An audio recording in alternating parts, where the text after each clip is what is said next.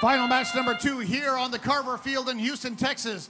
The Red Alliance is number one seeded. They won the first one. They want to win again to go on to Einstein. Red Alliance places two cubes up there. Red takes the scale in autonomous. Red Alliance three cubes during autonomous. Blue only has one. Red takes the command of the scale in the middle of the field.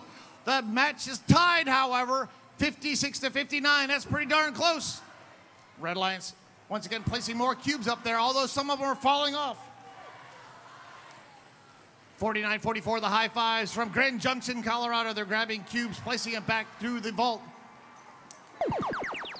Very close match still, 95 to 93. Red has a very slight lead. Red has the scale.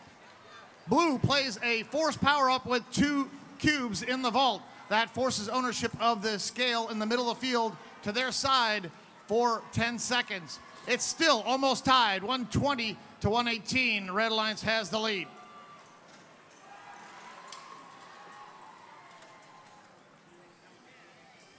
Over here by the Red Alliance switch, 4911 was trying to place a cube into the switch. However, 4944 from the Blue Alliance almost knocks the cube off and into the blue platform.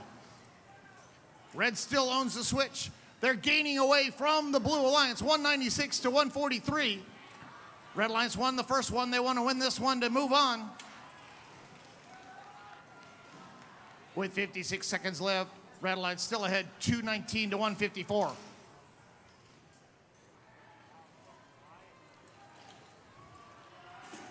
Miss Daisy grabs a cube. She places it up there on top of the scale. Is that enough to get the scale back? Oh.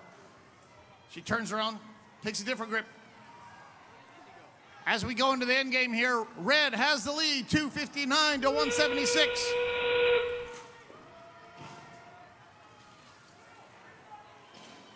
Twenty-four seconds left. Red Alliance has two robots getting ready to climb. 29-10, 49-11. We've seen this before. Shalik, oh, 49-11. They get their hook up, but it drops back down. 29-10 does a solo climb there. Miss Daisy's going up. We have eight seconds left in this match.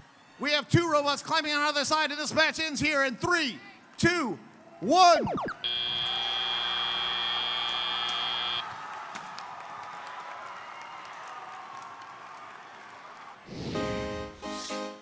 Final two on Carver goes to the Red Alliance.